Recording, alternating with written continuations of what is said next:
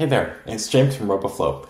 Today I'm excited to announce the launch of Polygon Zone, a web utility that makes it easy to calculate the coordinates of polygons for computer vision applications. Polygon Zone is designed for building projects uh, that involve drawing regions of interest or zones, um, where you need to know the coordinates of specific pieces of either an image or um, a video.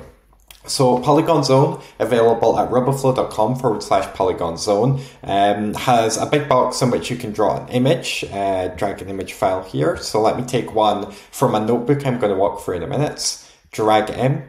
I can zoom into the image and then from here, click on the places where I want to draw my polygons. So maybe I want to draw this lane here as a polygon. I can do so um, by clicking on each point and then pressing enter to complete my polygon. And after I hit enter, um, I see the coordinates for the polygon I've just drawn in an array of NumPy array objects. Um, I can draw multiple polygons, and as I do, the points for my polygons are updated in this NumPy points section. This code can be directly copy and pasted into um, the various different Python um, packages that work with NumPy arrays for polygons. So an example is OpenCV or uh, RoboFlow Supervision that we'll be using in a minute. Um, in addition, there's also JSON points available at the bottom should you be using another programming language or should JSON be easier for you to work with. Um, so now that we've walked through the, um, the basics of Polygon Zone, let's use it to solve a real world computer vision problem. In this case, we're going to count how many objects appear in each of the two lanes that we've uh, for which we've drawn polygons here. So to get started, we're going to go over to our notebook for this project. The link for this notebook is in the description below. Um, this notebook will walk us through the process of installing YOLO V8 in Supervision, preparing polygon zones for a traffic video, um, running inference on the video, and then saving the results of inference to a file.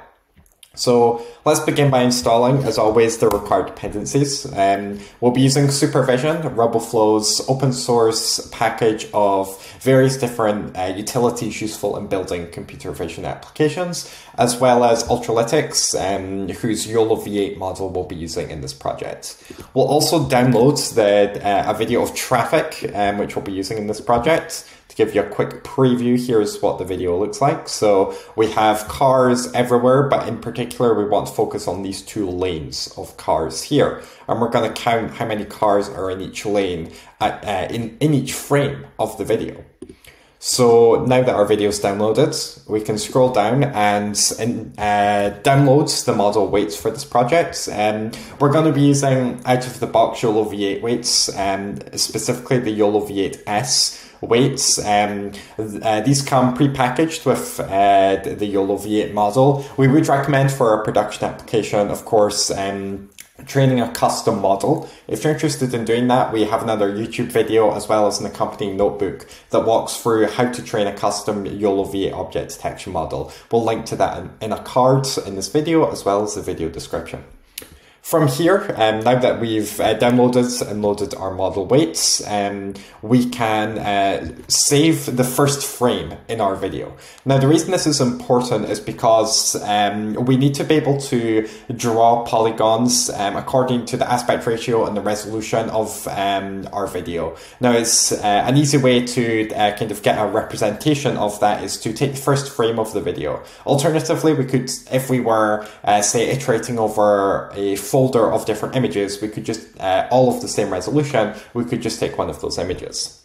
So for here, we are um, going to run this code to get the first frame of our video using a function in supervision called get video frames generator, and we'll take the first frame. Now this will save to a file um, the first frame uh, in a file called firstframe.png. I already have one of these, um, so and that's what I annotated here. So in Polygon Zone, I drew two polygons. I drew one on the left side and one on the right side, um, corresponding to roughly the lanes in, um, or rather the two uh, big lanes in this image. And I have coordinates here. Now I can take these coordinates and paste them directly into my notebook. In the next section of this notebook um, is a polygon array. There's just a, an example one here, but I can paste in my polygons here. Um, this create this uh, initializes two polygons, um, so the ones that we just drew on our image. So we can run this, and it'll tell our notebook, hey, here's where our polygons are.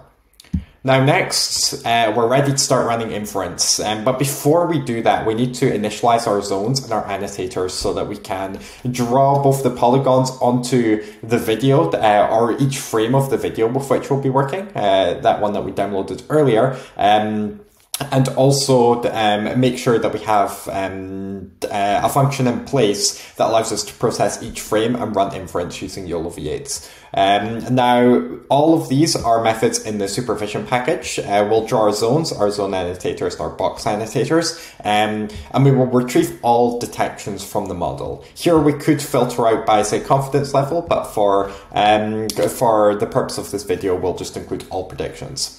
Now, supervision will take our polygons and draw two zones onto an image, um, and we'll count the number of objects in each zone. So let's run this cell here to initialize our zones. And then now we can run inference on a frame in our video. So let's run this cell here. This will take a moment just as uh, YOLO V8 boots up. Um, and we will uh, show the first, well, the next frame in our video. So let's see what happens here. It'll take a little moment you can see that now we have um, an annotated image with two lanes. We have uh, this one on the left and this one on the right.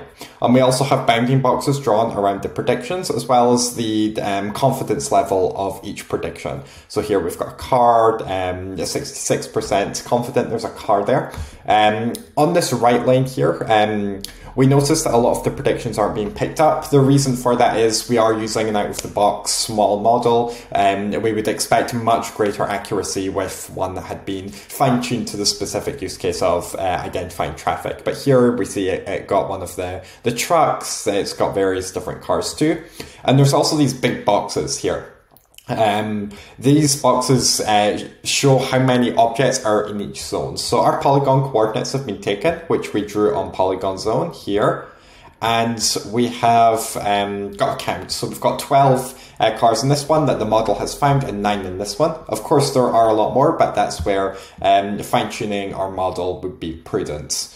And then the final step is to run video inference. Um, Supervision has a method called process video, which takes in a video and saves to a target path um, the result of inference. This iterates through every single frame um, using that, that function that we defined earlier, process frame, runs, in our case, YOLO V8s, and will draw all of the annotations.